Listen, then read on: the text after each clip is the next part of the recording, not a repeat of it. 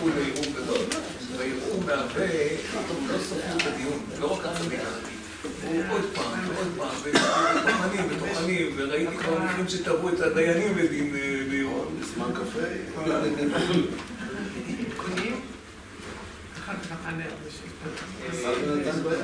באמת הרב עושה עכשיו השלים את העניין של האיחוד, את המעלה של האיחוד, את היתרונות של האיחוד.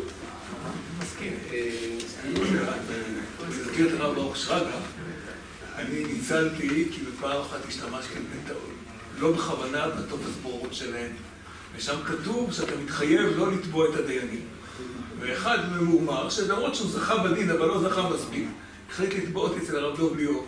ופתאום כשהלכתי לבדוק, תבע אותי וקיבלתי הודעה, הציעו לי כולם לגשת, אבל אני, לא כולם, אבל הציעו לי כמה שנים לגשת. פתאום הסתכלתי על שטר הבוררות, לא היה לי את השטר הקבוע שלי, השתמשתי בשטר הזה במועצה ידיד ירושלים, אמרתי את זה הצדים. הצד הזוכה תבע אותי, לא...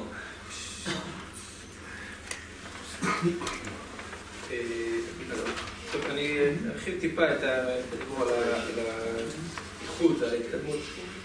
באמת פנינו לכמה מבתי הדין הגדולים. רובם היו קשובים, שמעו. כמה מהם... בקול, לא בקול. אה, לא שומעים? לא, לא, מסכנים לא שומעים. אני ראובן. המזכיר של האיגוד. מה? כן, אז פנינו לכמה מבתי הדין, כולם בירכו בעיקרון, ברמת העיקרון על האיחוד.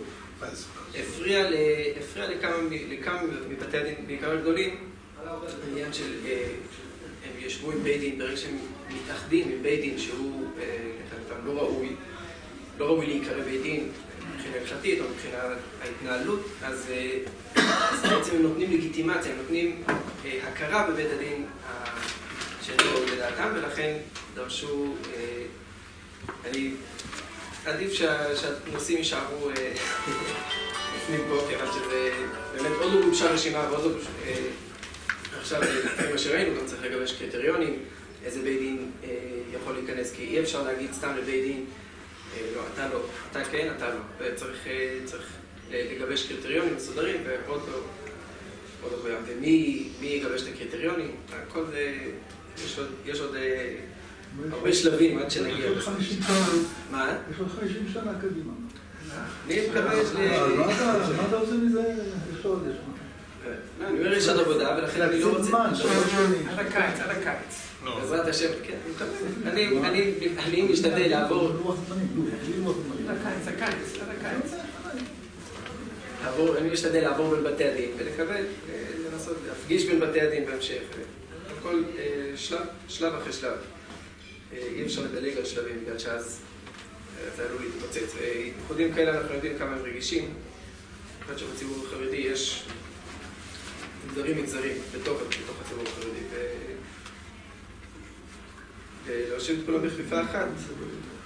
יש הרבה מגזרים בציבור החרדי, יש מגזרים שהצטרפו, יש מגזרים שאין סיכוי שיצטרפו, אלא כן יבוא המשיח. בעזרת השם אנחנו לא מתייאשים, לא מרפים. ממליץ לך להתחיל הרבה דין של הרב נוספוין והרב פליישמן. כן, אנחנו בקשר איתם. זה הרבה דין, זה לא דין. אני רוצה להגיד, להעלות נקודה על היתרון שבזה, כלומר כרגע עכשיו אנחנו בעצם, כמו שהרב הרוסי אמר, אנחנו נמצאים במצב שבו המשפט העברי, שהוא אמור להיות המשפט הרשמי והממלכתי של מדינת ישראל, אנחנו נמצאים במצב שהוא מכהן רק בתפקיד הבוררות, כלומר, רק במסגרת חוק הבוררות אפשר לדון על פי המשפט העברי. היתרון של זה, היתרון של העניין הזה, זה שבעלי הדין חייבים לקבל על עצמם את בית הדין. כדי שיקבלו, כדי שיקברו הפניות וכדי שמשפט עברי יהיה יותר ויותר בשימוש, אנחנו צריכים שיותר ויותר ירצו לפנות לבתי הדין. כלומר, זה מחייב אותנו, בתי הדין להיות מצוינים, להיות מעולים וקשובים גם, לראות מה באמת, מה באמת צריך, מה הבעיות, למה לא, למה לא כל הפניות מגיעות לבתי הדין למעונות, וממילא בעזרת השם אנחנו בעצם אה, נגיע לפסגה מלמטה, כלומר, דרך, ה... דרך הציבור, דרך הבחירה של הציבור, שיראו שבתי הדין הם הדרך הכי טובה בעצם לפתור סכסוכים. אפשר לשאול שאלה? אפשר לשאול? כן. חוץ מהעניין של בית דין של תורה, של מה, מה היום הדרכי מבחינת בתי הדין ממונות, מה היום למשוך אותי לבוא לבית דין ממונות? יש, יש כמה וכמה יתרונות, למעשה כמעט בכל יש יש יתרונות לבתי הדין על פני אה, בתי המשפט.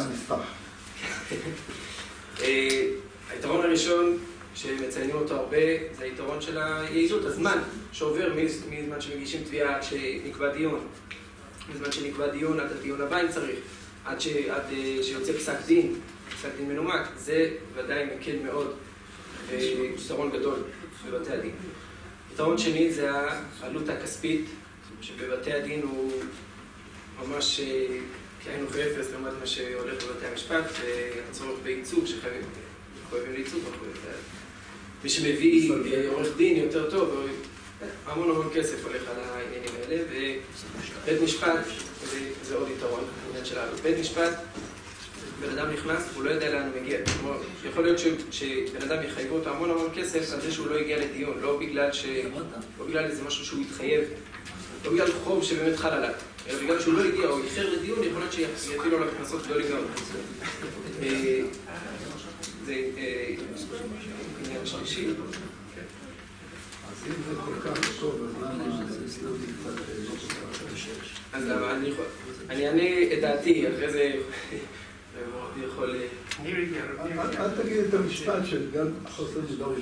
זה לא יכול להיות הסיבה העיקרית. חוסר מודעות זה עניין אחד. אבל זה לא הסיבה העיקרית. אבל למה אין חוסר מודעות? אין פרסום, אין פרסום, נכון, כל הדברים האלה. בתי הדין, אין עניין לבית הדין שיבואו אליו. כרגע, במציאות היום, כלומר, חוץ ממסירות נפש של הדיינים על העניין של משפט עברי, אין לבתי הדין עניין, אין להם אינטרס למשוך עליהם ציבור. זה בהתנדבות? כן, כן. ככל, רוב ככל בתי הדין. אני חושב שלדעתי האישית, אני לא מדבר פה בשם, לדעתי האישית, דבר שצריך לתקן אותו, וברגע שהדיינים יקבלו שכר, הכל יוכל להיות יותר...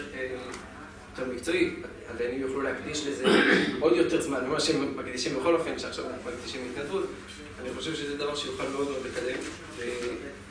והעניין של התקציב שהרב הרוסי דיבר עליו, טוב שלא יהיה ביקוש. טוב שלא יהיה ביקוש, לא יריבו. צריכים להפריד טוב. לא זאת הייתה השאלה למה הולכים לשם ולא לפה, זאת הייתה השאלה. אז עכשיו, טוב, אני רוצה, יש... אז יש שני עניינים. יש את ה... אני רק אגיד בקצרה ממש את העניין של התקציב, כמו שזה באמת, אנחנו מקווים שיוכל מאוד מאוד לקדם. אנחנו מקווים שהוא ימשיך גם לשנים הבאות, גם כשהשרה שקד, שרת המשפטים איילת שקד כבר לא תהיה בתפקידה. או שתמשיך.